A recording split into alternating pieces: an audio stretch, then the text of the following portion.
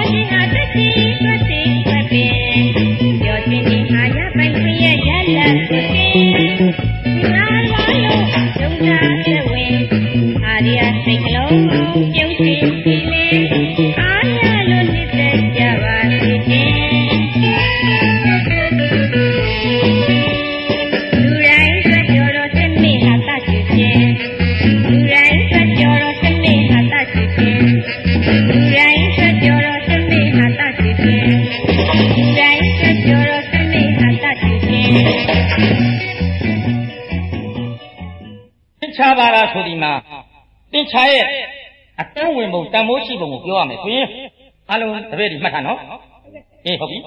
အဲ့တော့ဆရာကတင်မဲ့သင်္ချာပါတာနဲ့ပတ်သက်တယ်အဲထိလိုက်တရားရတဲ့လူတွေအနာထက်ရကလွဲလို့သင်္ချာရဲ့အတန်းဝင်ပုံဟာကျူရှင်လကမှန်မှန်မပြီးတဲ့လူတွေကျူရှင်မှန်မှန်မတက်တဲ့လူတွေအတွက်တော့တောက်သုံးရမယ်ဖြစ်တယ်တပည့်တို့မှတ်ထားနော်အလုံးဟုတ်ကဲ့ဟုတ်ကဲ့ဗျအဲ့ဒီတော့ကဏ္ဍပေါင်းမြောက်များစွာတို့ဒီဘယ်မှာရှိသလဲမင်းပြောစမ်းပန်းစိုးတန်းကတရုတ်ဆိုင်မှာရှိပါတယ်ဆရာ အေးမှန်တယ်တပည့်ဆရာကအဲ့လိုပြောပြောနေတာဆရာကြောင်းလာလို့ရှိရင်မင်းတို့သူချင်းဆရာလို့ဆရာကိုမတတ်မှတ်နဲ့လူပြက်လူဆွင်တော်လို့ပဲတတ်မှတ်ကြဟုတ်လားဟုတ်ကဲ့ဆရာသုံးနဲ့လေးကိုမျက်နှာချင်းဆိုင်လို့မရတော့လေဒီနှလုံးကိုမျက်နှာချင်းဆိုင်ရအောင်ဘယ်လိုလုပ်ရမလဲမင်းပြောစမ်း53လုပ်ပါမယ်ဆရာမှန်တယ်တပည့်စိတ်တော်တယ်ဆရာကြောင်းပဲဖြစ်တယ်ဒါကြောင့်စိတ်တော်နေတယ်ဆရာလက်ခံပြီလက်မခံရင်ဘာဖြစ်သွားလဲ အေးအေးအေးအားလုံးနားထောင်ဆယ်ရဲကငါးနှုတ်ရင်ငါးကြံတယ်လို့သူတိုင်းသိတယ်မဟုတ်လားဟုတ်ကဲ့ဟုတ်ပါတယ်ဗျဟုတ်ပြီပြောစမ်းဆယ်ရဲကငါးနှုတ်ရင်ငါးကြံတယ်နဲ့ငါးလေးတွေကြံပါသေးတယ်ဗျဆယ်ရဲကငါးနှုတ်ရင်ငါးကြံတယ်ဘာဖြစ်လဲမင်းစောစောပြောတာဆယ်ရဲကငါးနှုတ်ရင်ပဇွန်လေးတွေနဲ့ဓိုက်ပတ်ကလေးတွေကြံပါသေးတယ်ဆရာကြိုက်ပြီဆရာကဒီလိုပြောပြောနေမှာ ဆရာကမင်းတို့သူရှင်ကိုအမြဲတမ်းပြောနေရမယ်ငါတပည့်မတွေရောငါတပည့်တွေအားလုံးကြီးဆရာနဲ့တွေ့ရင်မင်းတို့အမြဲပြောနေရမယ်တဟာဟာတဝါဝါနဲ့ပြီးသွားရင်သူရှင်ပြီးသွားရင်မင်းတို့ရည်ပြီးတော့ပြန်သွားရမယ်ဟုတ်ပါတယ်ဟုတ်ပါတယ်ဆရာဟာတသူရှင်ဆိုမမှားဘူးဟုတ်ပါတယ်ဆရာမှန်ပါလားကြီးမှန်ပါတယ်ဆရာအပေါင်းလက္ခဏာရဲ့တန်ဖိုးအားလုံးနားထောင်ပါဟုတ်ကဲ့ဗျအပေါင်းလက္ခဏာရဲ့တန်ဖိုးဒီ MBBS အောင်မိတဲ့ဆရာဝန်ကြီးရဲ့အိမ်ရှိမှရပ်တည်နေတယ် ဥပမာပြောရမယ်ဆိုရင်ဆေးကန်းဖွင့်ရမှာသူ့အိမ်မှာဆေးကန်းဖွင့်လာတယ်ဆိုတဲ့အကြောင်းကိုအပေါင်းလက္ခဏာလေးကိုအနီလေးပြပြီးတော့ဆေးကန်းခုသတ်မှတ်မယ်ဒါဟာဆရာဝန်များရဲ့အသုံးဝင်ဖြစ်တယ်နောက်တစ်ခုမှတ်ပါ9နဲ့6ကိုမြောက်တော့ဘယ်လောက်ရတယ်လဲကြီး30ရပါတယ်ဗျာ9နဲ့6ကိုပေါင်းရင်မြောက်ရင်ဘယ်လောက်ရတယ်လဲ30ရပါတယ်ဗျာအဲ့ဒီ9နဲ့6ကိုမမြောက်ဖဲနဲ့ ဝလုံးနဲ့ထောင်ပြီးတော့မြင့်လိုက်ရင်ဘာဖြစ်သွားမလဲမကြောက်ရပါနဲ့ဗျာမှန်တယ်သိမှန်တယ်ဆရာကြောင်းမှနေဒီလိုတက်နေရမယ်အမြဲတမ်းမင်းတို့အဲ့လိုဆရာတဲ့ကြိုတက်နေမှာဆရာကလက်ခံတယ်အခုဆရာသင်ပြတဲ့ဟာမင်းတို့ရဲ့ဒါသင်္ချာဘာတရားဖြစ်တယ်ဟုတ်ကဲ့ဆရာကောင်းပြီဆရာဖြစ်တာအနာပေးမယ်မင်္ဂလာပါတပည့်တို့မင်္ဂလာပါဆရာသာ ရာတင်လေးချာလေးဖြစ်ရမှာနံပေါင်းသူရာသာလူလုံးကောင်းတာငါနဲ့၆ပေါင်းရင်မ၆ထောင်ဖြစ်မှာအဲ့ဒါတင်ချာသူမပါမင်္ဂလာပါဗျာဘယ်လိုလဲတပည့်တို့မင်္ဂလာဆောင်းပါတယ်ဆိုတာအဓိပ္ပာယ်ဆရာမရှိဘူးကွယ်။အော်ဒီလိုပါဆရာကျွန်တော်တို့ရဲ့ရင်ဝင်မှာ မင်္ဂလာတရားတော်ကိုပိုက်ထားတဲ့အတွက်ဆောင်းထားတဲ့အတွက်မင်္ဂလာဆောင်းပါတယ်ဆရာ။တမိုးရှိလိုက်ပြီကွယ်။အေးအေးအေးဆရာတပည့်တွေကဒီလိုပဲမင်္ဂလာတရားတော်ကိုရင်ဝင်မှာဆောင်းထားမှာဒါကိုမင်္ဂလာဆောင်လို့ခေါ်တယ်။မင်္ဂလာပါဆိုတာကအပေါ်ယံနှုတ်ကလေးဖြစ်တယ်ကွယ်။ဟုတ်ပါတယ်ဆရာ။အေးအေးအေးဆရာမင်္ဂလာတရားတော်ကိုအမြဲတမ်းလက်ဝယ်ထားတယ်ကွယ်။ဒါကြောင့်စက္ကုယုပိဏံတာဝတ္တယာကပု္ပ္ပဇာဝိဇာတတိလို့ဆိုတယ်။စက်ကူယူပေးတဲ့တာဝတာစက်ကူယူခဲ့ဆရာဆွန်လုပ်ပေးမယ်ပေါ့အခုသင်ပြမယ် ဘာသာရပ်မှာဆိုရင် English ဆိုတဲ့အင်္ဂလိပ်စာကိုသင်ပြရမယ်အင်္ဂလိပ်စာရဲ့အဓိပ္ပာယ်ဟာအင်းနဲ့လက်ကိုအစာကျွေးခြင်းကိုအင်္ဂလိပ်စာလို့ခေါ်တယ်ကွယ်နော်ဟုတ်ပါတယ်ကုန်းပေါ်ကလက်ကိုအစာကျွေးရင်ဟောဆရာအဲ့ဒါကုန်းကလေးစာလို့ခေါ်တယ်ကွယ်နော်အားလောက်ပါတယ်ဆရာရဲ့သဘောပေါက်တယ်နော်အလုံးဟုတ်ကဲ့သဘောပေါက်ပါတယ်ဗျာဟုတ်ပြီတိရစ္ဆာန်များရဲ့အတန်ကိုအင်္ဂလိပ်ဆိုဆရာမိမယ်ငါပြီအားလုံးတိရစ္ဆာန်ရဲ့အတန်တော့သိမှာပေါ့ကွယ်သိပါတယ်ဆရာတိရစ္ဆာန်ရဲ့အတန်အတွက်ကိုဆရာမိမယ် တိရစ္ဆာန်ရဲ့အတန်အတွက်ပထမဆုံးဖြေရမှာကတော့ဟောဒီယာထွတ်ထွတ်နံဟုတ်ပါတယ်ဆရာရင်ချိုးရလေးပေါ့ဟုတ်ပြီလက်ခံပြီထွတ်ထွတ်နံပြောပါဆရာဟုတ်ပြီကြောင်ကိုဘယ်လိုခေါ်လဲကွယ်ကြံကိုညောင်းလို့ခေါ်ပါတယ်ဟောဟုတ်တယ်ကွယ်ကြောင်ရဲ့အတန်အတွက်ကညောင်းလို့မြည်တယ်မှန်တယ်ကွယ်ဟိုဘက်ကမောင်ခင်မောင်တွဲဟုတ်ကဲ့ကြိုးမခေါ်ပါသေးပါဘူးဆရာအေးဖုံမိရင်ကွယ်ဆရာကိုအကြောင်းကြားကွယ်နော်ဟုတ်ကဲ့ဆရာ ခွေးကိုမင်းဘယ်လိုခေါ်တယ်လဲကွယ်အခုခေါ်ပါတယ်ဆရာမှန်တယ်ခွေးရဲ့အတန်အတွက်ကဝုတ်ဝုတ်လို့မြည်တယ်ဆရာလက်ခံပြီနွားရဲ့အတန်အတွက်ကိုဟိုဘက်ကဘောမောင်မောင်ဟိုဒရိုဂျင်ဖြစ်တယ်လို့ပါဆရာအေးဟုတ်ပြီနွားရဲ့အတန်အတွက်ကိုပြောစမ်းကွယ်ဝန်ပဲတော်လိုက်တာတပည့်တို့ဆရာအကြောင်းအတွက်တို့မြည်ဒီမှာဒီလိုပဲရှိရမယ်ဒီပြင်ကျူချင်းဆရာတွေဆိုရင်ရွှေစတိတိရကြတယ်ဆရာလည်းကျယ်နေကျယ်ရခဲ့ပါတယ်ကွာဘာကျေလုံးဆရာ ဖင်ကောင်းကျယ်တာနဲ့ပါဇက်ကျယ်တာပါကွယ်အေးဒါပေမဲ့ဆရာကတက္ကသိုလ်မှာတော့ဘွဲ့သုံးခုရခဲ့ပါတယ်ဘာလဲဘာပြောလုံးဆရာကိုရင်ဘွားတုန်းကရှင်အိန္ဒြိယတဲ့ဦးတင်ဘွားကြပြန်တော့ရှင်ကုံတရိယပေါ့ယတိဘွားမှာဥစ္ဆံလိမာလို့ခေါ်တယ်အဲ့ဒီဘွဲ့သုံးခုကိုဆရာမင်းတို့အခုလိုရပြီးမှစာသင်ရတာပေါ့ကွယ် တက္ကသိုလ်မှာတော့ဆိုရင်အတန်းလိုက်အချင်းပြိုင်ပွဲမှာဆရာဖလားရပါတယ်ရေတွင်းကကောက်လာတာပါကွယ်ဆက်ပြခွဲရောမပါဘူးလားဆရာအဲ့ဒါလူမလေးလို့ပါတပည့်တို့တူတူတူတူဆရာပြုရှင်မှာတိတ်ခါကြသွားနိုင်တယ်ဆရာရဲ့ကာယတာဆရာရဲ့စိတ်ဓာတ်တွေကိုမင်းတို့ဘယ်သူမှမပေါက်ကြအောင်ထိရမယ်ဟုတ်ကဲ့ပါဆဆရာရာပါဆရာဟုတ်ပြီအဲ့တော့ဟောဒီဆရာအကြောင်းကနေပြီးတော့ဒီငါးလုံးပါတဲ့လူကိုဆရာအမြဲတမ်းရွှေတိတ်ဆုချတယ်မင်းတို့သိတယ်နော်ဟုတ်ကဲ့ဟုတ်ကဲ့သိပါတယ်ဆရာဟုတ်ပြီ ယခင်ဒီငါးလုံးပါသွားတဲ့ကျောင်းသားဟောင်းနေဆိုရင်လေဆရာရှိကရွှေတိတ်ကိုဆွဲပြီးတည်းကဆရာရှိကနေပြီးတော့အမြဲတမ်းမကြီးတိမဲ့လာလာဝယ်ရတယ်ကွဘာဖြစ်လို့လဲဆရာရွှေစိတ်ကတဖြည်းဖြည်းမဲသွားတယ်လေအဲ့ဒါကြောင့်အမြဲပြောင်းလာအောင်ပို့ကိုကွာသဘောပေါက်ပြီနော်ပါပါတယ်ဆရာဟုတ်ပြီဆရာတင်တန်းမှာဆိုရင်လေမင်းတို့သိတဲ့အတိုင်းတင်တန်းဆင်းလို့ပြီးသွားရင်ခေါင်းကုန်ခေကြီးအငိမ့်နဲ့ နော်ရတနာဘုံတင်းတင်းမီတို့အဖွဲ့အမြဲတမ်းပြောပြတယ်မင်းတို့သိတယ်သိပါတယ်ဆရာကောင်းပြီဆရာဆက်တင်မယ်နားလည်ပြီနော်အားလုံးနားလည်ပါလေဆရာဆရာအခုမင်းတို့ကိုရှင်းရောအခါကရာဇဝင်တစ်ခုကိုသင်ပြမယ်ကွယ်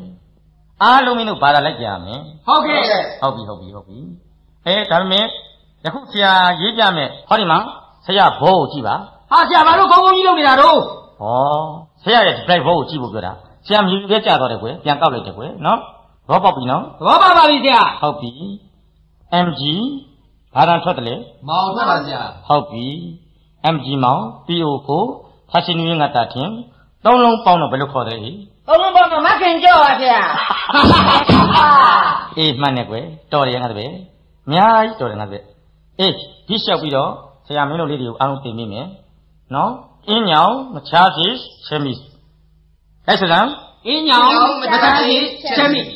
တကင်းညောင်မချားစီချမီတကင်းညောင်မတန်းစီချက်မိဟုတ်ပြီဒိဗေပါလေဆရာနားမလည်ဘူးလားမသိပါဘူးဆမရာသိပါဘူးဆရာရှင်းပြမယ်ဟုတ်ကဲ့တကင်းညောင်မချားစီချမီဆိုတာက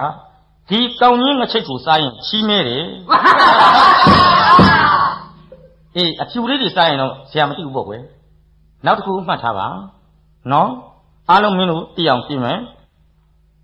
တေချာမှတ်ပါဟုတ်ကဲ့ I see growing hopping checking အဲ့ဆိုတာ I see အိုင်စီ growing Growing hopping checking checking ကျဆိုမယ် I see အိုင်စီ growing Growing hopping Hopping checking ချက်မိအတိတ်ပဲသိသလားမကိုသိပါဘူးဆရာ I see growing hopping checking ဆိုတဲ့အတိတ်ပဲဟာအေးဆိုင်ကရင်ပေါ်မှာဖင်ပေါ်ရင်ချင်ကြိုက်သွားတယ်တဘောကွယ်နောက်တစ်ယောက်မှတ်ထားပါ ဒီအတိတ်ပဲကိုမှတ်ထားလောက်တူအဲ့တတိဆက်လုံး debut အဲ့ဆိုတာလောက်တူလောက်ဒီ Love you အဲ့တတိအဲ့တတိဆက်လုံးဆက်တော့ debut ရက်ပြီသူအတိတ်ပဲနားလေလားမသိပါဘူးဆရာလောက်တူဆိုတာလူတစ်ယောက်အဲ့တတိန်ဆိုတာအိမ်နာတက်ဆဲလောဆိုတာချော်လဲပြီးဒဲပြူးဆိုတာဒူးပြဲသွားတယ်တဲ့ကွယ်နောက်တစ်ခုသင်မယ်နားထောင်ပါစပေါ်တာ စပယ်တော့မှတ်ထားနော်ဟုတ်ကဲ့စပယ်တော့မှတ်ပြီနော်အဲစပယ်စပယ်တော့ရင်ဘယ်တော့ရင်ပြောရင် collection ကော်လီရှင်ဒီပဲအဲ့ဒါသဘောပေါက်အောင်မယ်ဒါကအမျိုးသမီးတွေနဲ့ပတ်သက်တယ်ပြောပါဆရာကျောင်းသူတွေနဲ့အများဆုံးပတ်သက်တယ်ကွယ်စပယ်တော့ဆိုတာကစပယ်တော့ဆိုတာစဘာတော့ပေါ့ကွယ် collection ဆိုတာအဲ့မှာကင်းလိချောရှိတယ်အဲ့မှာအပေါ့အပါအရမ်းမသွားနဲ့ကွယ်ဖြစ်သွားရင်ဆရာတောင်းမမြည်ဘူးဒါဆရာရဲ့သင်္ကေတပေါ့ကွယ်မှတ်ထားနော်အားလုံးဟုတ်ကဲ့ ဟုတ်ပြီအားလုံးဆရာကို good morning morning ဆိုတဲ့အဓိပ္ပာယ်ကိုတော့ပြောပြရမယ် morning morning ဆို order morning morning ဟုတ်တယ်ငါတပည့်ရဲ့အတန်ကိုဆရာအမြဲကြားနေရတယ်ဆရာ morning ဆိုတော့မင်းတို့ဆရာမော့ပြီးနင်းခဲ့တာချီးပုံကြီးမတက်နေပြီပဲကွယ်ဆရာမှားသွားတယ်ကွယ်အားလုံးမှန်ပဲဆက်တင်မယ်အင်္ဂလိပ်စာဆက်တင်မယ်နားတော့တပည့်တို့အတတ်နိုင်ဆုံးဆရာမင်းတို့ကိုနော် sport ရရမယ်နော် စုလေဖျားလမ်းကိုသွားရင်ဘာပေါက်တယ်နော်ဘောပါပါဗျာအဲ့ဒီမှာမင်းတို့အတွက်တင်တိတစလုံးတစ်လုံးရှိတယ်အဲ့ဒါဘာလဲလို့ဆိုတော့ရောက်တူစားပြဲသဘောပေါက်သလားဟုတ်ပါလားဆရာရောက်တူနောက်ပြီးနောက်ပြီစားပြဲစားတယ်ဟုတ်ပြီအဲ့ဒီအဓိပ္ပာယ်ဟာမိမိရဲ့မလွယ်နိုင်တဲ့အန္တရာယ်ကိုကာကွယ်တဲ့အထိတ်အမှတ်ပဲကွယ်ဘယ်လိုအနေနဲ့လဲဆရာအေးနားလည်အောင်သဘောပေါက်အောင်ရှင်းပြမယ်မြန်မာလိုပြန်လိုက်ရင်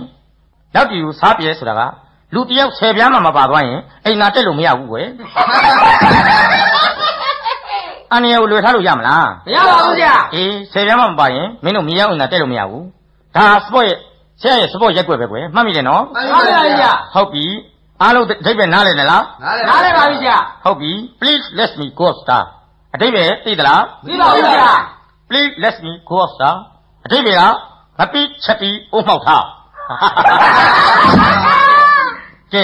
ဆရာဒီနေ့မင်းတို့ဟာတာပိုင်းအနေနဲ့ဆရာအင်္ဂလိပ်စာကိုသင်ပြီးပြီကွယ်အေးဆရာအခုခိတ္တအားလက်ချင်းဆရာအနားပေးမယ်ဆရာအရက်တစ်ခွက်ချလိုက်အောင်ကွယ်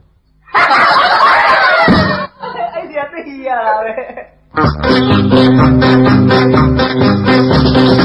ဒီလိတ်သာဆိုတာဒီနေ့ကလိတ်သားရဲ့စာဒီလေး ဆိုတာကလာပြပွဲမှာတွေ့ရမှာဒီအိုကို M E M C O M E ကိုမီပြီးတော့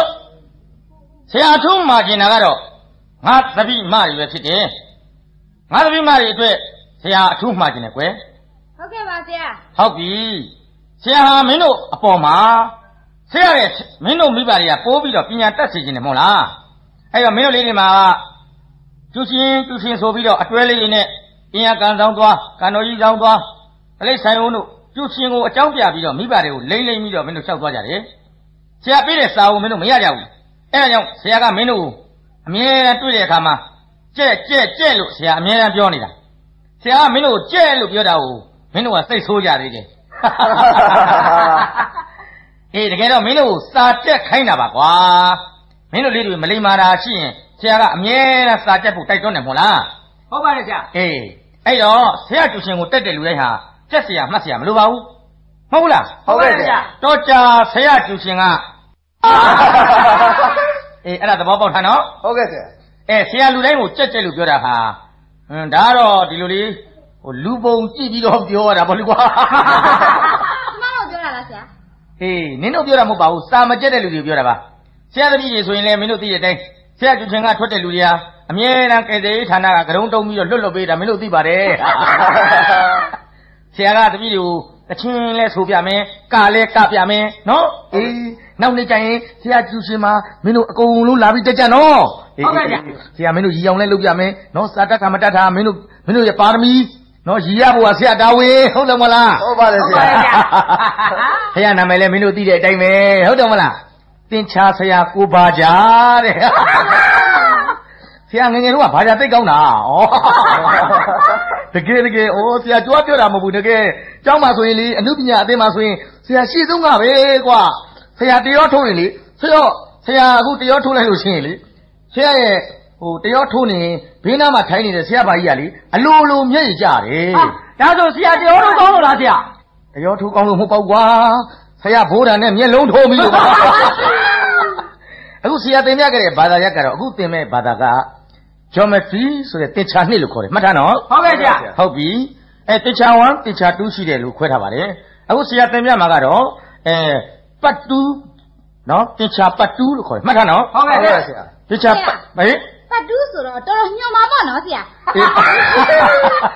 အေးကွယ်ဟိုကြက်မွေးမီးမြောက်ဆိုလို့တော့ညှော်တာပေါ့လေ အဲ့တော့အနာရှိတဲ့အကြောင်းသားများအပြင်ခဏထွက်ပါကွယ်နော်ကိုယောဂသူကိုကိုယောဂကိုသိရင်ပေါ့လေကွာအေးအခုပြောမယ်အခုဆရာတင်มาကတော့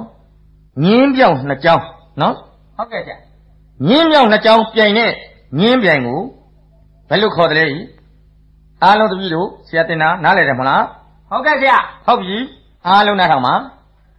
မြင်းပြောင်နှစ်ကြောင်းပြိုင်တဲ့နေရာကိုမြင်းပြိုင်လို့ခေါ်တယ် ဟုတ်လားတပည့်တို့မဟုတ်ပါဘူးဆရာအေးကွယ်ဆရာဟမ်မဟုတ်ဘူးမဟုတ်ဘူးဆရာဟာစောက်ကျိုးနေအေးကွယ်ဆရာမလိမ္မာတာငါတပည့်တွေများဟိုပြောမဆိုမှရှိရင်ဆရာမသိတာလေးတွေကိုရှင်းပြပါကွယ်မြင်းပြိုင်တစ်ကြောင်ပြိုင်တဲ့နေရာကိုလူကူးပြင်းကြလို့ခေါ်ပါတယ်ဆရာတော်လိုက်တာကွယ်တော်လိုက်တာဒါကြောင့်ဆရာလေးမင်းကိုလीဆရာရေတွင်းကကောက်လာတဲ့ဖလားကိုမင်းကိုဆုချအောင်ပါအေးအခုဟာက geometry ဆိုတော့ ဓာတ်မှန်နဲ့ပတ်သက်လို့ရှင်းပြရမယ်နော်ဟုတ်ကဲ့ဆရာဓာတ်မှန်ဆိုတာကမှန်ကိုဓာတ်ကလေးနဲ့ထောက်ထားတာကိုဓာတ်မှန်လို့ခေါ်တယ်ဟုတ်ပါဆရာအေးအေးအေးနေဦးအခုမှတ်ထားရမှာကဓာတ်မှန်တစ်ခုမှာ A ဓာတ် B ဓာတ် C ဓာတ်တန်မိုးကိုရှားရမယ်ဘောပေါက်တယ်နော်ဟုတ်ပါရဲ့ဆရာ AB ဓာတ် BC ဓာတ်ဆိုတဲ့ရှိတယ်သဘောပေါက်တယ်နော်ဟုတ်ကဲ့ဟုတ်ကဲ့ဆရာအဲ့တော့ A နဲ့ C နဲ့ကိုရှားရမယ် AC ကိုဘယ်မှာရှာရင်တွေ့နိုင်လဲ AC ကပန်းစိုးတန်းမှာရှိပါတယ်ဆရာတော်တယ်ကွယ်ငါတို့ပဲဆရာကိုတွေ့ရင်အကြောင်းပြန်ပါနော်ဟုတ်ကဲ့ပါဆဒီရာအကြောင်းပြန်ကြားလားဟေးဟုတ်ကဲ့ဟုတ်ကဲ့အေးအေးအေးဟုတ်ပြီကဲအရေးကြီးဆုံးကတော့မင်းတို့လေး AC မြင်းကိုရှားမယ်ဟုတ်လားမလား AC ကိုရှားဖို့အရေးကြီးတယ် AC ဟာနေရာတိုင်းမှာမရှိသလိုဓာတ်တည်တဲ့လူတွေကတော့လွယ်တာပေါ့ကွာအေးတခုမှတ်ထားရမှာတစ်ခါတခါ AC ကြောင့်ကုန်ကြတယ်လို့တစ်ခါတခါလဲ AC ကကျွေးလို့စားတော့ရတာနေငါသမီးတွေအတွေ့ဆရာဂုံယူပါတယ်ကွာရအောင်သာရှာပါဟုတ်လားဟုတ်ကဲ့ဆရာနောက်မှတစ်ခုမှာ90ဒီဂရီရှိတယ်သဘောပေါက်တယ်နော်ဟုတ်ပါရဲ့ဆရာအဲ့ဒီမှာစောစောကပြောတဲ့45 45ဒီဂရီဖြစ်အောင်ဘယ်လိုလုပ်မလဲကွယ်45ဒီဂရီပြည့်အောင်ရေရောရပါတယ်ဆရာတော်တယ်ငါတို့ပဲတိတ်တော်တယ်မင်းတိတ်တော်တယ်အခုကြည့်တဲ့ကလေးကမင်းနာမည်ဘယ်လိုလဲကွယ်ကျွန်တော်နာမည်လားဆရာဟုတ်ကဲ့ ကျွန်တော်နာမည်သရိုးတီသူရမရာဇာအကမဟာပါဏိအလင်္ကာကျော်စွာဝင်နာကျော်တဲ့သပိတ်အုပ်ဆောင်ခင်မောင်တက်ချုံဦးလွင်မလာတန်းတရဲ့မောင်ကေတုမရီမျိုးအောင်ပါဆရာတော်လိုက်လားကွယ်တော်လိုက်လားဟင်90ဒီဂရီကို45ဒီဂရီဖြစ်အောင်ရေရောနိုင်တယ်ဆိုတော့မင်းအဖေကကုံတော်ရေးလေးကမှအလုတ်လုပ်ခုသလားကွယ်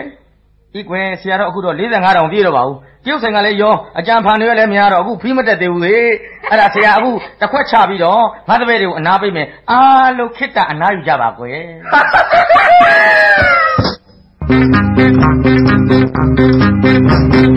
ကျော်မထီဆိုတာသင်္ချပတ်တူအညော်မိလိုက်လေအပြင်ဆက်ကြပါသင်ကြောင့်အကြောင်းပြိုင်တာလမ်းကူကိုမှတ်ပါဒီ တောင်ပြီးတောင် ACP တောင်ဟာလန်စိတ်ကိုမှတ်ကြပါအဲ့ဒါမသိမချင်း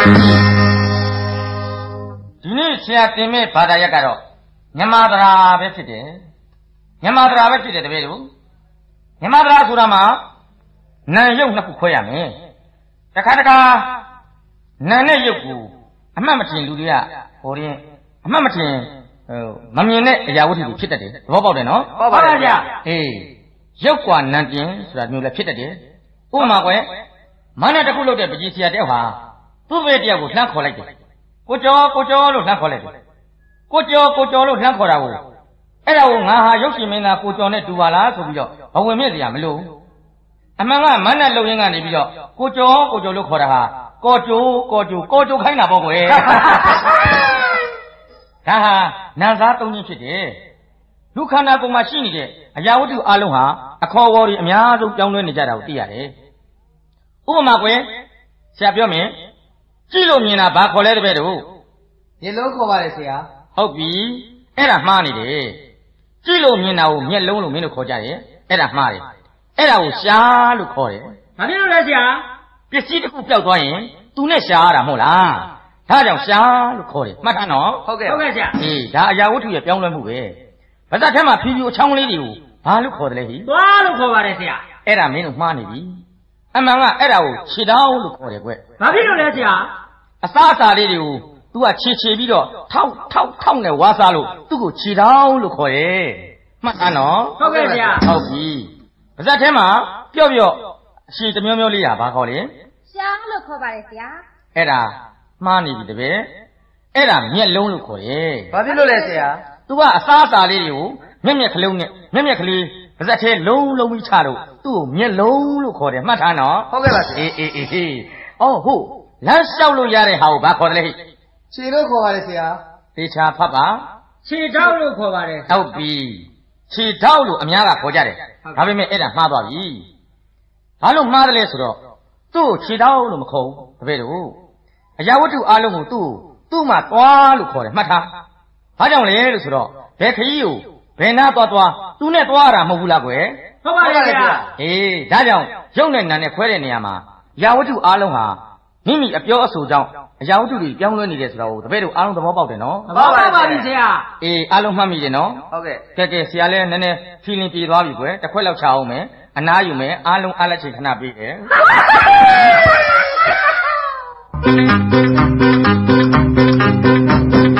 မာသာဆိုတာဘုံရည်ကြီးနဲ့ငပိချက်ပါယုံနိုင်ရဲ့ထိတ်တဲ့ပြေရှာမှာရေမချိုးတဲ့ပုဂ္ဂိုလ်ပါငါအလင်းကကြပြဝင်းကပါဓမ္မသာထိတ်တဲ့ကျေဝန်းလာတာ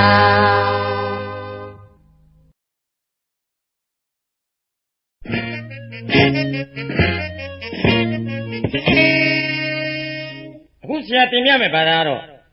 တိတ်ပံဘာသာလို့ခေါ်တယ်တပည့်တို့ဟုတ်ကဲ့ဆရာဆရာဟုတ်ပြီဘာဘာသာလဲသိပ္ပံပါပါဆရာဟုတ်ပြီတိတ်ပံဆိုဒီမှာတပည့်တို့သိအောင်ပြောရရင်ဟိုတပွင့်နဲ့ပန်တဲ့လူကိုတိတ်ပံလို့မခေါ်ဘူးအများကြီးပန်တဲ့လူကိုမှတိတ်ပံလို့ခေါ်တယ်ကွာမှတ်လားဟုတ်ပါအေးအမှန်တော့တိတ်ပံတော့ပန်းမိုးတွေတိတ်ကုန်တာပေါ့ကွာပန်းမင်တစ်ပင်ဖြစ်ဖို့ တစ်ပင်တစ်ပင်ဖြစ်ဖို့ဆိုတာမလွယ်ဘူးတစ်ပင်တစ်ပင်မှာရေအားလေအားနောက်တစ်ခုပထဝီအားဒီအားတွေနဲ့တစ်ပင်တစ်ပင်ဖြစ်လာခဲ့ရတယ်အဲ့ဒီတစ်ပင်မှာအထက်ကဟာရေတောက်မြစ်ဖြစ်တယ်ရေတောက်မြစ်မရှိရင်ဒီတစ်ပင်ကအသက်မရှင်ဘူးလူမှလည်းထုံနည်းတူသွားလူမှလည်းရေတောက်မြစ်ရှိတယ်ဘယ်လိုရေတောက်မြစ်မျိုးလဲဆိုတော့သပင်ကထွက်တဲ့မုတ်စိမ်မွေးမုတ်စိမ်မွေးဒီရေတောက်မြစ်လို့ခေါ်တယ် ဒါဒီသပင်ကထွက်တော်ရေတောက်မြစ်ကိုခေါ်တယ်မှတ်ထားနော် ဟုတ်ကဲ့ပါဆရာ ဒီရေတောက်မြစ်အဖြည်းဖြည်းဖြူလိုက်လာပါကအပေါ်ကသပင်တွေလည်းအဖြည်းဖြည်းဖြူလိုက်လာတယ် ဟုတ်ပါတယ်ဆရာ သပင်သပင်တွေလည်းအောက်ကရေတောက်မြစ်အဖြည်းဖြည်းခါချုပ်လာပါကအပေါ်ကသစ်ရွက်တွေအလိုလိုကြွေကြော့သွားနိုင်တယ် ဟုတ်ပါတယ်ဆရာ ဒါကိုသဘောပေါက်တယ်နော် သဘောပေါက်ပါတယ်ဆရာ ဟုတ်ပြီဓာတ်တထုဓာတ်တထုဆိုတာကဒုတ္တထပေါ့လေ ကြီးစရာပြောတာပါတပည့်တို့ဆရာเจ้าမှာ ဆရာကအမြဲတမ်းကြီးစရာပြောနေတာမဟုတ်လို့ပါနော်အဲ့တော့အဆိုင်ခဲအားလုံးတို့ဒီအတုံးအတုံးလေးတွေဖြစ်တယ်အေးရေထဲဟာဘာမှပြောတယ်လဲအရက်ထဲမှာပြောဤမှတ်ထားနော်တပည့်တို့ဟုတ်ကဲ့ပါဆရာမိဒီရေမနိုင်မှာကတရက်ကွက်လုံးကုန်ဤမှတ်ထားနော်ဟုတ်ကဲ့ပါဆရာရေဒီအရာရာမှာအတုံးဝင်တော့လေအဲအရက်ရောင်းသူများအတွက်စီးပွားတိုးတက်ရာလမ်းကြောင်းဖြစ်တယ်ဟုတ်ပါတယ်ဆရာအေးရေရဲ့အတုံးဝင်မို့ ရေဟာအရက်ရောက်သူများအတွက်အတုံးဝင်တယ်လို့အဲရေနစ်ပြီးတည်သွားရင်လေရေဟာအန္တရာယ်တတ်မှတ်ရမယ်ဟုတ်ပါတယ်ဆရာမှတ်ပြီမလားမှန်ပြီပါလေဆရာဆရာလေးလေးသည်အပေါ်လေးသည်ဟေးလေးကြီးထိုးခြင်းဤဒါအပေါ်လေးဖြစ်သည်အောက်လေးသည်ဘူးကလေးမြည်သောအတန်သည်ဒါအောက်လေးဖြစ်၏လေးနှမျိုးခွဲထားသည်သဘောပေါက်တယ်နော်ဟုတ်ပါတယ်ဆရာဟုတ်ပါပြီဆရာလေဒီလူရဲ့အသက်သခင်ဖြစ်တော်လေ လေဖြတ်ခဲ့တော့အဲ့ရထဲမှာလုံးလုံးထားလို့မရပါဟုတ်ပါတယ်ဆရာဒါဟာလေရဲ့အကျိုးပေးမှုမဟုတ်တော့လေဖြစ်သည်မှတ်မိသလားမှန်ပြီပါတယ်ဆရာတို့ကဘာမြေကြီးကဘာကြီးဒီ23နှစ်ပိုင်းတစ်ပိုင်းနေတိတိမ်းဆောင်နေသည်23နှစ်ပိုင်းတစ်ပိုင်းဒီဂရီတိမ်းဆောင်နေတာကိုတပည့်တွေအားလုံးသိတယ်နော်ဟုတ်ကဲ့သိပါပြီဆရာ23နှစ်ပိုင်းတစ်ပိုင်းဒီဂရီဟာ BTC ဒီကလေးတဲ့တာတယ်အေးဒါတွေတော့သဘောပေါက်အောင်မယ်နော် ကဘာကြီးလေပတ်ချင်းကိုလူသားအလုံးကမူးမိဆိုတာကအရက်ဆိုင်အလုံးပိတ်ထားရမယ်သဘောရှိတယ်သဘောပေါက်တယ်နော်ဟုတ်ကဲ့ပါဆရာမင်းတို့လေးတွေဘုသူတ္တဖြစ်အောင်လို့ဆရာသင်ပြနေတာနော်ဟုတ်ကဲ့ရွှေဟာအများဆုံးတွေ့နိုင်တဲ့နေရာဟိုပြောရမယ်ဆိုရင်ဗရင်ဘုံမှာအများဆုံးရှိတတ်တယ်ဟုတ်ပလားဟုတ်ပါပြီဆရာငွေဟာဗာနိုင်မှာအများဆုံးတွေ့ရတယ်သိတယ်နော်ဟုတ်ကြည့်ကဲ့ပါပြီဆရာခဲဟာတံမြူတိုင်မှာရှိတယ်ဟုတ်ကဲ့ဆရာမှတ်မိတယ်နော်မှန်ပြီပါလေဆရာဓာန်ဒီ ဓာန်အိုးတံဝက်ဆိုင်မှာရှိတယ်ဓာန်ရဲ့အပြောင်းအလဲကအမတန်မြန်တယ်သဘောပေါက်တယ်နော်ဟုတ်ပါလေအရာဝတ္ထုအလုံးထဲမှာဓာန်ဟာအပြောင်းအလဲမြန်ဆုံးဖြစ်တယ်ဓာန်အိုးတံဝက်ရောက်တဲ့ကလားလက်ကိုအပ်လိုက်ရင်၎င်းဓာန်ဟာပလတ်စတစ်ဘုံနဲ့လဲပါကလက်ရှိဓာန်ဟာပလတ်စတစ်ဘုံဖြစ်သွားတယ်ဤကဒါဓာတ်တတုပြောင်းလို့ခြင်းလို့သတ်မှတ်ရမယ်သဘောပေါက်ပြီနော်ဟုတ်ပါလေဆရာရေနံနဲ့ဓာတ်စီနဲ့နှစ်ခုရောပြီးတော့ထညက်ရည်လေးကိုထည့်လိုက်ပါကအင်ဂျင်ဝိုင်ဖြစ်သည် ဘောပေါက်တယ်နော်ဟုတ်ပါလေဆရာဤကသိပ္ပံသူသေသနာနီးဖြစ်သည်ဘောလောပေါ်နိယာမဆိုဒီမှာသဘောပေါက်ထားနော်ဟုတ်ကဲ့ပါခင်ဗျာဘောလောပေါ်နိယာမဆိုဒီမှာဝါတဲ့လူရင်းနစ်ပါကပက်လက်လံမိပေါ်ဤပိန်တဲ့လူရင်းနစ်ပါကမှောက်ခုံပေါ်ဤဒါကအာခီမိနိနိယာမဟုသက်တည်ပြခြင်းဖြစ်သည်အားလုံးသဘောပေါက်တယ်နော်ဟုတ်ကဲ့ပါပါပြီဆရာကောင်းပြီဆရာသင်္ကန်းသာတစ်ခုပေးပြီးရင်အမြဲတမ်းအနားယူရတဲ့အချီရှိတယ်ဟုတ်ပါတယ်ဆရာအဲ့တော့ဆရာအနားယူမယ်ပြီးတဲ့အတိုင်းပဲတပည့်ဒီ အားလုံးဘာလုပ်ရမလဲတစ်ခွက်တောက်ပါမယ်ဆရာဘောဘောလောနိယာမဆိုပြီးသဘောပြောမယ်ဘောလောပေါ်နိယာမနဲ့တွက်ဆက်တယ်ဘောလောပေါ်နိယာမဆိုတာဝါတဲ့လူရင်းနစ်ပါကပက်လက်ပေါ်ဤပိန်တဲ့လူရင်းနစ်ပါကမှောက်ခုံပေါ်ဤဤကအပြင်းမီနီနိယာမဟုတက်တည်ပြခြင်းဖြစ်သည်ကဲအားလုံးအနားယူပါ သိပ္ပံဆိုတာမျိုးသမီးများအတွက်အရေးကြီးတာတစ်ကောင်းလုံးဝေအောင်ပန်းသိပ္ပံရင်နန်းဆံမမဟုတ်ဘူးအယူဖြစ်မှာသိပ္ပံပညာလိုက်စားကြည့်ပါပန်းဖို့ကုံငါမွဲမှာသေးကြ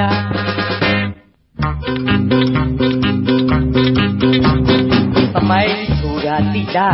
ဥပ္ပင်းနာကရက်ွက်ပါသူဆိုတာဟာအဖေနဲ့မိကဆင်းသက်လာမြောက်ကဖြစ်တဲ့လူသားသတ်ခုံပေါ်မှာကြည်ထားသင်ကျွန်းနောက်ကျွန်းခုံပေါက်ခံမျက်စိနောက်ပြပါသမိုင်းဆရာတွေယူဆတာအိုးချလောက်ဆရာ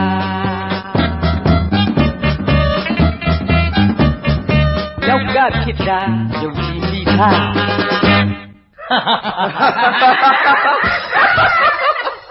ကဲဒီနေ့ဆရာသင်တဲ့ဘာသာရပ်ကတော့သမိုင်းဘာသာပဲဖြစ်တယ်နော်လူဟာဘယ်ကဆင်းသက်လာတယ်လဲဆိုတော့အဖေနဲ့အမေကစပြီးလူဖြစ်တယ်လို့သတ်မှတ်မှာပေါ့အေးတချို့ကလူဟာမြောက်ကဆင်းသက်တယ်လို့ဆိုကြတယ်ကွဘာကြောင့်လဲဆိုတော့ ဘတ်စကားပေါ်မှာလူတွေဟာလက်အငြိမ်မနေချီအငြိမ်မနေနိုင်ဟိုနှိုက်ဒီနှိုက်လှုပ်ချင်းကြောင့်မြောက်ကဆင်းသက်လာတယ်လို့ဆရာသတ်မှတ်လိုက်တယ်ကွာဒါကြောင့်ဆရာအခုကမ္ဘာသမိုင်းကိုဆရာစပြီးတော့ပြောမယ်ကြားလားဟုတ်ကဲ့ပါဆရာကြောက်ဖြစ်လူသားတို့သည်ကြောက်ကိုထုပြီးတော့အသုံးပြုသည်လူတွေဟာမြောက်ကဆင်းသက်လာသည်ကြောက်ဖြစ်လူသားတို့သည်ကြောက်ကိုထုရန်အသုံးပြုသည်ကြောက်ဖြစ်လူသားများသည် အဲ့ဒီကြောက်ဖြစ်လူသားများကိုကြည့်ကြင်မှာကရဲဘက်စခန်းမှာတွေ့နိုင်ပါတယ်အေးတန်ဖြစ်ဖြစ်အမျိုးမျိုးပြောင်းလဲသွားပြီနော်တန်ဖြစ်တန်နဲ့ပတ်သက်ပြီးပြောရမယ်ဆိုရင်တန်ဟာအမဲသားကြိုက်ဤနေထိုင်ရာကလေးတွေပိုက်ဖြစ်ဤဘာသာချင်းကိုအမတန်ကြောက်ဤတန်ရဲ့အရေးအသွေးသည်ရှင်မျိုးမျိုးလေးဖြစ်သည်ကမ္ဘာသမိုင်းနဲ့ပတ်သက်လို့ပြောရမယ်ဆိုရင်နော် စစ်သူကြီးနပိုလီယန်ရဲ့အကြောင်းနဲ့ပတ်သက်ပြီးပြောရမယ်ဆိုရင်သူ့ရဲ့ဇနီးဟာကီလိုပက်ထရာဖြစ်တယ်ကီလိုပက်ထရာသည်ခေါင်းလိမ့်စီဖြစ်သည်လင်ကွန်းလင်ကွန်းသည်ဆေးရန်တောက်စီတစ်မျိုးဖြစ်သည်ဒါဟာကမ္ဘာသမိုင်းပဲဖြစ်တယ်မြမသမိုင်းနဲ့ပတ်သက်လို့ပြောရမယ်ဆိုရင်အလောက်စီသူမင်းတရားကြီးဟာရိုးမအရှိကားကိုစီးပြီးတော့ဆရာဖောင်ဆက်ကြစီးတာလေးဆရာရဲ့ဖောင်ဆက်ချဟုတ်တယ်လေးဆရာရဲ့ဆရာမှတ်သွားပြီအေးဟုတ်ပြီ အဲဖဟောဒီတပည့်မလေးပြောတဲ့ဟာကိုစီးပြီးတော့ဟိုဆရာဖောင်းဆက်ကြလေမပြောနဲ့ဆရာကြီးသားခိုးတာပါဟုတ်ပြီအဲ့ဒီဖောင်းဆက်ကြကိုစီးပြီးတော့တိုင်းကလှည့်လေတယ်အဲ့လိုလှည့်လေတဲ့အခါမှာသူဟာကုန်းပေါ်မှာသူ့ရဲ့တက်သားတွေဟာကြံခဲ့တယ်အဲ့ဒီခံမှာငါတက်သားတွေဟာဒီကုန်းပေါ်မှာကြံချင်းကြောင်တစ်တက်လုံးဒီကုန်းမှာကြံချင်းကြောင်ဒီနေရာကိုတက်နဲ့ကုန်းနဲ့ပေါင်းပြီးတော့ ရမဲတင်လို့ပြောင်းလိုက်တယ်ဟာဆရာဘယ်နဲ့ကုန်းမော်သူ့တက်တွေရောက်နေတော့တက်ကုန်းပြရမှာဘောဆရာရဲ့လူလည်းမလုံးနဲ့မင်းဆရာလားငါဆရာလားဆရာပါဆရာရဲ့ကောင်းပြီအေးဆေးဆေးနေပါနော်ဟုတ်ပြီအဲ့ဒီခါမှာတခါလေဖောင်ဆက်ကြာကြီးကရှေ့ကိုလက်ညှိုးညွှန်လိုက်တော့ထွက်သွားတယ်ထွက်သွားတဲ့အခါမှာဘယ်နေရာရောက်လာလဲဆိုတော့အရက်မူးသမားအိမ်မီးရှိအိမ်မီးနဲ့ရှို့တဲ့နေရာကိုရောက်သွားတယ်အာရှင်းမအောင်ဆရာအေးမသိဘူးလားမသိပါဘူးဆရာ အရက်မူးသမားအိမ်မီးနဲ့ရှို့ဆိုတဲ့နေရာဟာအရက်မူးတော့မအံဘူးလားအမှန်ပါလေဆရာဟုတ်ပြီအိမ်မီးနဲ့ရှို့တော့မလောင်ဘူးလားအလောင်းပါလေဆရာအံလောင်အောင်လာပါဆရာပေါက်ခေါင်းပါပါကွယ်ဟာဆရာဘယ်နဲ့ဟာတော့ဆရာရဲ့အဲ့ဒီဘက်ကရေလိုင်းတင်တယ်အဲ့ဒီဘက်ကလှည့်သွားတယ်သဘောပေါက်တယ်နော်အသဘောပေါက်ပါပြီဆရာဆရာကွာမင်းတို့ဆရာကွာမင်းတို့လက်ကပေးထားတယ်မင်းတို့ဆရာကွာသဘောပေါက်ပြီနော်သဘောပေါက်ပါလေဆရာရဲ့ဟုတ်ပြီအဲ့ဒီဘက်ကလှည့်သွားတဲ့အခါမှာတဖြည်းဖြည်းနဲ့ ကန်းတကန်းကိုကတ်မိတယ်အဲ့ဒီနေရာရဲ့မြို့ဒေသကိုပြောပြမယ်ပြောပြပါအောင်ဆရာအလောင်းမင်းစီတူမင်းတရားကြီးကိုယ်တိုင်နာမည်ပေးခဲ့တဲ့နေရာပေါ့ကွယ်ဘာကြောင့်လဲလို့ဆိုတော့အဲ့ဒီမှာအလောင်းစီတူမင်းတရားကြီးဟာခလေးအမတန်ချစ်တယ်ဘယ်လောက်ထိချစ်တယ်လဲဆိုရင်တိုင်းဒေသလူအများအားလုံးဒီအခုငါဖောင်ကတ်တဲ့နေရာစပြီးတော့အမတန်ဝဝဖြိုးဖြိုးဖြူဖြူခန့်ခန့်ခလေးတယောက်ကိုလိုချင်တယ်ရှေ့တော့ဆက်တာပါလို့ဆိုတယ်အဲ့တော့ ဝူကြီးမရတင်နာပရိတွေကခလေးဝဝဖြိုးဖြူကလည်းမတွေ့ဆိုင်တပားကလည်းအဲ့နေရာရှားပါတဲ့အချိန်မို့နောက်ဆုံးတော့ကြံရမရဖြစ်တဲ့အချိန်မှာခောက်ဆွဲဆိုင်ကတရုတ်ကြီးတယောက်ကိုခေါ်ပြီးတော့နှခမ်းမှုတွေရိတ်မုတ်စိမ်မှုတွေရိတ်နောက်ရိတ်ပေါ့ကွယ်ဘာလို့တော့ဆရာရဲ့ဟိုရင်မမှုတွေပေါ့ကွယ်ဟုတ်ပါပြီဆရာဟုတ်ပါပြီဆရာအဲ့လိုရိတ်ပြီးတော့သွားတွေအကုန်ရိုက်ချိုးအဲ့ဒီကလေးကိုအဝတ်နဲ့ပတ်ပြီးတော့ဘယင်ကိုဆက်တာတယ်ဘင်းကြီးကမြင်နေဆိုရင်ပဲ အလိုအမတန်မှချစ်စရာကောင်းတဲ့ကလေးတစ်ယောက်ပါလားဖြူဖြူဖွေးလေးအမတန်ခွန်အားလည်းကြီးမာတယ်ပေါင်ချိန်လည်းနဲတဲ့ပေါင်ချိန်မဟုတ်ဘူးဆိုပြီးတော့ကလေးကိုအချီတော်အချော့တော်များနဲ့ခိုင်းနေကလေးရဲ့တကိုယ်လုံးကိုချွတ်ပြီးတော့ညပေါ်ကပါပါလေးအုပ်ထားတယ်ကွယ်အဲ့လိုမြတ်ပါဝါပါပါလေးအုပ်ထားတဲ့အချိန်မှာလေမတိုက်မိုးမရွာပဲနဲ့အဲ့ဒီမြတ်ပါဝါပါပါလေးဟာ အချွေတော်အရွရန်တော်ရန်ရွေတော်အားလုံးကနေပြီးတော့တရုတ်ကြီးကိုဟိုကင်ဒီကင်နဲ့အဲ့ဒီမြတ်ပါဝါပါပါလေးဟာလေမတိုက်မိုးမရွာပဲနဲ့ဒုံးဆိုလွတ်ထွက်သွားတယ်ကွယ်အမလေးချက်သိမ်းထားဆရာပါလားဆရာရဲ့အဲ့ဒီခါမှာဘယင်ကမြင်တဲ့အခါကျတော့ဟာဒီဥစ္စာခလေးမဖြစ်နိုင်ဘူးခလေးမဖြစ်နိုင်ဘူးဒီကောင်ကဲငါရဲ့တပ်သားတွေအားလုံးသားဝိုင်းရသားဖမ်းညာသားဆိုတော့တရုတ်ကြီးကကြောက်ပြီးတော့ထွက်ပြေးတယ်ထွက်ပြေးရမနေပြီးတော့တရုတ်ကြီးမှောက်ရက်လဲတဲ့နေရာကို တောင်တွင်းကြီးလို့သတ်မှတ်တယ်ကွယ်တောင်တွင်းကြီးတဲ့လားဆရာအေးအေးအေးအေးမှတ်မိပြီလားမှန်ပြီပါလေဆရာတောင်တွင်းကြီးပါဆရာဟုတ်ပြီအဲ့ဒါနဲ့အလောင်းစီသူမင်းကြီးကြီးကတခါတည်းတဖြည်းဖြည်းနဲ့ဖောင်ကြီးကိုအောက်ဘက်ကိုသုံးသွားအောင်ပဲလို့ကြီးမှတ်ထားနော်ဟုတ်ကဲ့ဆရာတဖြည်းဖြည်းနဲ့ဖောင်ကြီးကိုအောက်ကိုစုံပြီးတော့သွားတဲ့အခါမှာလက်ပံမင်းနေတန်းပြီးတော့ပေါက်တဲ့နေရာကိုရောက်သွားလေအဲ့ဒီနေရာဒီနေရာဟာ လက်ပံမင်းနေတန်းပြီးတော့ပေါက်တဲ့နေရာမဟုတ်လို့ကပီးထိုးလိုက်တယ်ဘာလဲလက်ပံလားဆရာဟုတ်ပါဘူးကွာအောက်ဖို့ပါတယ်ကွာလက်ပံဖြစ်ရမှာဆရာဘယ်လိုအဲအဲ့ဒီနေရာမှာအုပ်ဖို့တခုရှိတယ်ကွာဟုတ်ကဲ့အဲ့ဒီနေဆက်သွားတဲ့အခါကျတော့ဘယင်ကတိတ်မောလာတာကိုဟုတ်ကဲ့အဲ့ဒီနေဘယင်ကိုယ်တိုင်ကဒီနေရာဆက်သွားလို့မဖြစ်တော့ဘူးကွာတဲ့ငါတော့မောပြီမောပြီနဲ့ပြောဒီနေရာမောပြီဆိုတော့ဒီနေရာကိုမြို့နာမည်တက်မယ်ဆိုပြီးတော့အစတုန်းကတော့ မောပြီမြို့မောပြီမြို့လို့ခေါ်တာပေါ့အခုမော်ပြီပေါ့နော်ဆရာဟုတ်ပါဘူးကွာတိုက်ကြီးပါမင်းမော်ပြီဆိုတော့မော်ပြီပြရမှာပေါ့ဗျအဲ့ဒီကနေတိုက်ကြီးကနေပြီးတော့တခါတည်းဘယင်ကငါဟာအောက်ဘက်ဆက်သွားလို့ရှိရင်ကန်စာတာနှိပ်ပြီးတော့ငါကန်တော်ကုံရရဲဆိုပြီးတော့အဲ့ဒါအထက်ဘက်ကိုပြန်ပြီးတော့ဆုံးတက်သွားပြန်ဦးကွာဆန်တက်သွားတဲ့အခါမှာတခါတည်းဟိုခြင်နေရလဲပေါ်ရေကလည်းတောက်စရာမရှိ ဖုန်နေရလဲထူနေရလဲပူ အဲ့တော့ခြင်နေပေါ်တဲ့ရေမရှိတဲ့ဖုန်ထူတဲ့နေရာကိုဒီနေရာတော့ငါယနေ့တိုင်ကပီးထိုးရတော့မှာပဲဆိုပြီးတော့မမွေကြီးနှကောင်ရှိတဲ့နေရာကွာရတနာဘုံတဲ့အဲ့ဒါကြောင့်ဘယင်ကကိုယ်တိုင်မဲ့သူလင်္ကာလေးတောင်ရေးသွားတယ်ကွာဘယ်လိုရေးလို့ဆရာရဲ့ဟိုရေဘူးနဲ့ဖဏတ်မပါရင်ຫນွေခါမတီးတဲ့ဒါနနဲ့သီလမပါရင်တေခါမတီးစောင်းနဲ့ခြံောင်မပါရင် မန္တလေးကြာမတီးဆိုတာဟုတ်အဲ့ဒီကနေတခါတည်းဘလူးကျိုးမဲ့ကိုယ်လာတာဗမာပြည်ရောက်လာပြီအာနှံ့နေတာရောက်ပြီဗောအဲ့ဒါဘလူးဘလူးကျိုးမဲ့လဲရောက်ကောငါတော့နိုင်ငံခြားပစ္စည်းတစ်ခုတော့ဝယ်အောင်ပါပဲဆိုပြီးတော့တခါတည်းဆေးတံဝယ်မလို့ဆိုပြီးတော့အဲ့ဒီရလွတ်ဘက်ကိုရောက်သွားတယ်ရောက်လိုက်ရလဲကောဟိုမှာရေးထားတာ made in ရလွတ်အမေဆေးတံနာမရခေတ္တနာမည် made in ရလွတ်ဆိုတော့အာဒါနိုင်ငံခြားလာတဲ့ပစ္စည်းပဲဆိုပြီးတော့အဲ့ဒါကိုဆေးတံတွေကိုငါဝယ်ပြီးတော့ဗမာပြည်ကမိတ်ဆွေတွေကိုပေးမယ်ပေါ့လေလက်ဆောင်ပေးမယ်ယူလာခဲ့တာ ဟိုလေရောက်ကောကနိုင်ငံခြားဝယ်လာတယ်ဆိုပြီးတော့ဘယင်းကကြွားမယ်ပေါ့အင်းအဲ့တော့မူကြီးမရတင်တာပရိယမှန်းလာမှာမင်းကြီးဗျာဒီဥစ္စာမိတ်တင်ရေလို့ဆိုတာဗမာပြည်ရဖြစ်တဲ့ပစ္စည်းပါဗျာဆိုတော့ဟာအဲ့ဒီမှာအဆက်ကွဲရောဟိအဆက်ကွဲတာနဲ့ကဲမထူပါဘူးကွာဆိုအဲ့ဒီစေးတန်တွေကိုရေထဲနှုတ်ပြအဲ့ဒီကနေတခါတည်းဘယင်းကကြိုက်ချီကိုတက်ပြီးတော့ကျိန်ကြီးလေးတစ်လုံးပဲဝယ်လာခဲ့တယ်ပေါ့ကွာအဲ့တော့မြန်မာရာဇဝင်ဒီတင်မဲ့ငါးတပည့်ဒီသဘောပေါက်ကြပြီနော်ဟုတ်ကဲ့ခင်ဗျာဆရာလည်းဟုတ်ပါပြီဆရာအေးပေါက်ရင်ဆရာလည်းရမ်းချရတာမို့လို့ မင်းတို့လည်းရမ်းပြီးတော့သဘောပေါက်ကြပြီးတော့ဟေးရမီပေါက်လိုက်ပါပြီဆရာရေ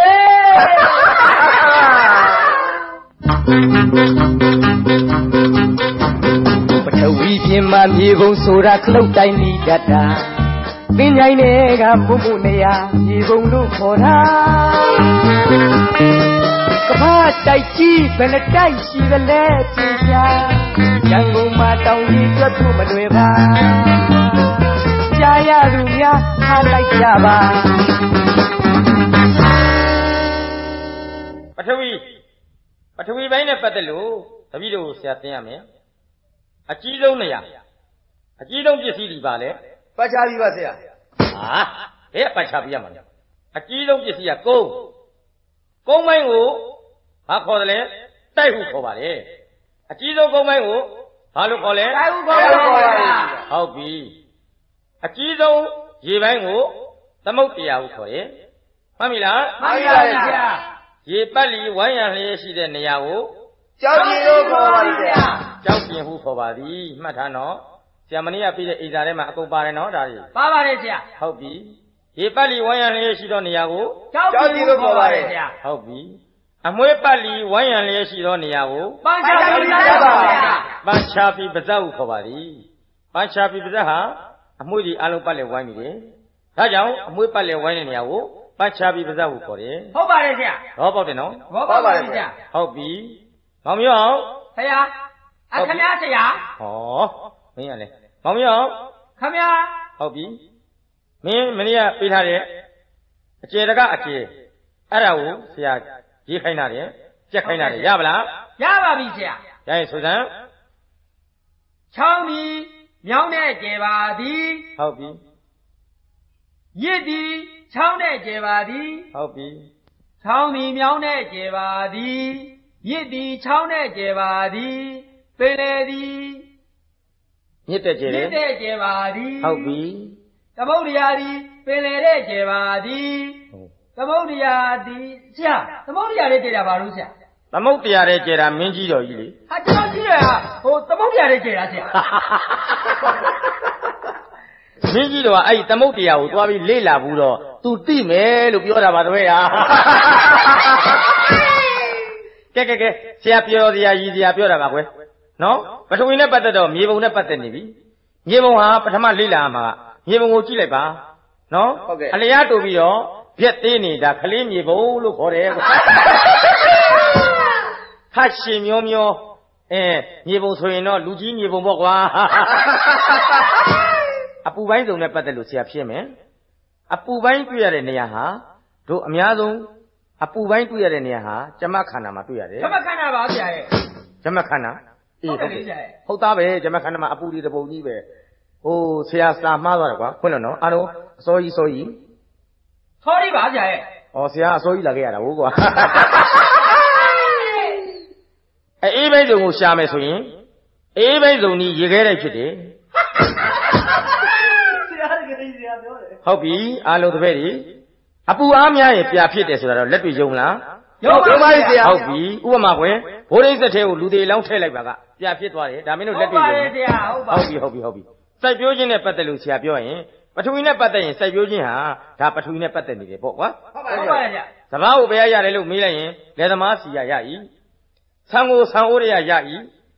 ထမင်းကိုထမင်းအိုးရရ၏ရှင်းပါပြီဆရာရှင်းပါပြီဒါဆရာရဲ့ပညာတွေပါဆရာရဲ့ဗရိန်းတွေပါကွယ်မှန်လိုက်တာဗျာအေးအေးအေးကောင်းလိုက်တဲ့ပရင်းရဲ့ဟုတ်ပြီဤကွေတာနဲ့ပတ်သက်လို့ဤကွေတာသည်ဤကြကွေနဲ့ညီကိုဖြစ်သည်စားကြလိုက်တာဆရာအေးအေးအေးဆရာဤဤကြကွေကျွေးပါမယ်ကွယ်နော်ကျောင်းသူလေးတွေကိုဆရာအမြဲတမ်းဤကြကွေကျွေးပါမယ်စိတ်ချကဲတပည့်တို့အားလုံးဒီနေ့မင်းတို့မနေ့ပြန်ဆိုရင်ငါ့ကို အားလုံးကျူရှင်လက်ကတွေမှန်မှန်ပေးကြရမယ်နော်ဟုတ်ကဲ့ပါဆဟုတ်ရာကဲ့ဗျာအေးအဲ့တော့မနေ့ပြန်ကိုကျောင်းသားအားလုံးကျူခိကျူရှင်လက်စာအကုန်လုံးယူလာခဲ့ကြပါအဲ့တော့မနေ့စံမိုးဝဲလည်းနီးပြီအဲ့တော့ဆရာကိုမင်းတို့မေးစရာရှိတာတွေကိုမေးနော်မင်းတို့ဆရာစပေါ့တွေအားလုံးရှင်းပြမယ်ဆရာအေးကျွန်တော်ကြီးတော့ဟာသမုတ်တရားလေးကျတယ်နော်ဟာအဲ့ဒါမေးမနေနဲ့လေကွာမင်းတို့မသိတာလေးတွေမေးဘာမသိလဲဆိုတာကိုပြောဥမာကာကြီးကိုပက်လက်လှန်ရင် ရပက်လက်ဖြစ်ပါတယ်ဆရာမှန်ပြီမှတ်ထားနော်ဟုတ်ကဲ့ကာကြီးကိုပက်လက်လှန်ရင်ရပက်လက်ဖြစ်ပါတယ်ဆရာဟုတ်ပြီအဲ့ဒီရပက်လက်ကိုနော်ထောင်လိုက်ရင်တင်းနှလုံးပူပါတယ်ဆရာမှန်တယ်မဆိုးပါဘူးဒါပေမဲ့ဓာတွေဖြစ်သွားတာကိုမင်းမသိလိုက်ဘူးနော်မသိလိုက်လို့ပါဆရာအေးမှတ်ထားအဲ့ဒါလေးတွေသဘောပေါက်အောင်မယ်ဟုတ်ကဲ့ဟုတ်ကဲ့နော်လာပြီးရင်ပါလေ လာဝါပြီးပါဆရာဟုတ်ပြီဝမှတ်မိတယ်နော်မှန်ပြီပါပြီပါတယ်လာပြီးရင်ဝနော်အဲထပ်စီမီကိုထောင်လိုက်ရင်ဘာဖြစ်မလဲဝါနှလုံးပူပါတယ်ဆရာရှစ်ဖြစ်သွားမယ်ရှစ်ကနံမှတ်ပြီနော်မှန်ပြီပါဆရာဟုတ်ပြီကာကြီးကိုပလက်လှန်ရင်ရဖြစ်ပါရဖြစ်ပါဆရာဟုတ်ပြီညကိုပလက်လှန်ရင်တွက်ကြိုက်ပါတယ်ဆရာဟာညကိုပလက်လှန်ရင်ကျွတ်ထောင်ကြောက်ဖြစ်တယ်ဆရာဟေး မေးချင်တယ်ဆရာရဲ့ကျွန်မမရှင်းတာလေမေးချင်တာမေးပါ PUD ကိုဘယ်လိုခေါ်လဲဆရာ POD ကိုပုတ်ဆိုခေါ်တယ်အဲ BUD ရောဆရာ BUD ကြတော့ဘုတ်ဆိုတဲ့အတန်ထွက်တယ်ကဲအားလုံးတွေ့ပြီမနေ့ပြန်ကျူရှင်ရင်ကိုမှတ်မိတယ်နော်ဟုတ်လားမှန်ပြီပါတယ်ဆရာဟုတ်ပြီအဲ့ရောဆရာကိုမင်းတို့ရဲ့ကျူရှင်လက်စာလေးတာမှန်မှန်ပို့သေးပို့ပေးသမျှကာလပတ်လုံးဆရာတို့ကျူရှင်ဆရာတွေမင်းတို့အားကိုးပြီးစားနေရတယ်ဆိုတာကိုတော့ အားလုံးသဘောပေါက်ကြပါစို့ကွာမှန်ပါပါဟုတ်ပါတယ်ဆရာ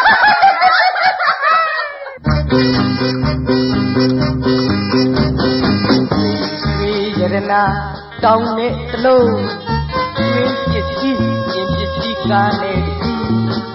ဝေပုံကြီးကအိမ်ဟောင်းဖြစ်ရဲ့ဒီလျံလာထေးကြီးသနာစရာကွယ် ဘူးတော့တဲ့ဘဝကုန်းကောက်ရမလွယ်ဒီအတွက်ကြောင့်ဆင်းရဲနေတယ်နာရှင်ကွယ်ပြောပြမယ်ပါကလည်းရမတော့သေးကြောင့်မရှိဘူးကွယ်ဖဲလဲမရိုက်ပြောမလိုက်လိမ္မာတဲ့ဒါပြီးနဲ့ကွယ်ဘူလာတန်းကကြည့်ရှင်အလေတန်းကကြည့်ရှင်အထက်တန်းကကြည့်ရှင် ကြည့်ရှင်ကနှိပ်ဆက်လိုက်တော့ရဲ့ဝဲလီ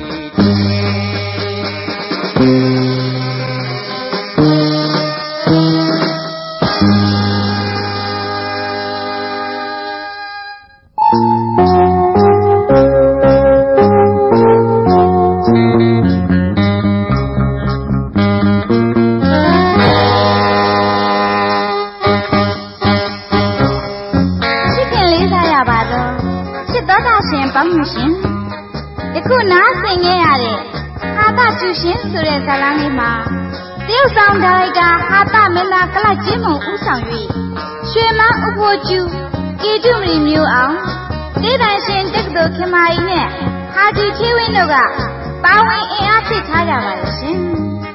ဂီတမုံသာနာဦးတဖေဖွဲ့နေသူဂီတသာဆိုလိုင်းမြင့်ထွန်းရဲ့တေးခတာများကိုဂီတသာဆိုလိုင်းမြင့်ထွန်းနဲ့သေးတန်ရှင်လေးလေးငယ်တို့ကပါဝင်အင်အားဖြစ်ထားတာဖြစ်ပါတယ်